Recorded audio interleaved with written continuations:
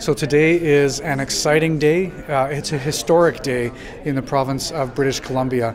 Today's announcement, where we're going to ensure safety for all of our students by having policies in place.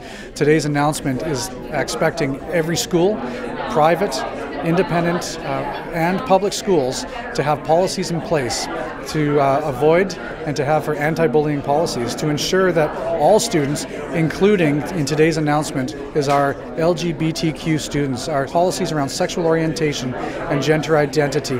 It is unacceptable for any child, for any student to be bullied in the province of British Columbia, and we want to do our part to make sure there's policies in place to protect and help some of our vulnerable students in our education system. What's happening today is important. It matters.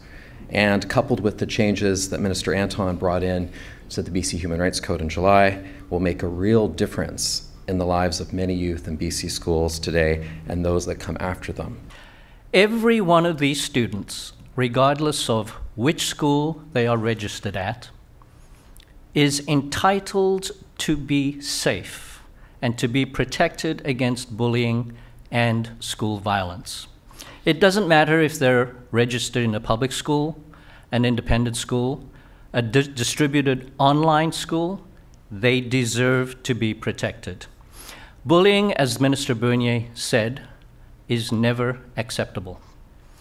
And our provincial government has done what it can and is committed to continuing prevention of bullying. We're really excited at the ARC Foundation to, uh, to been able to participate today and have a relationship, a partnership going with the Ministry of Education. Uh, over this next year, we're going to be funding a position to support sexual orientation and gender identity uh, in schools with policies and supporting all school districts and schools across the province. And, and that's exciting. We're going to have some amazing dialogue and uh, understand, listen to each other, and build tools to support and give a consistent school environment for all students where they feel safe and included.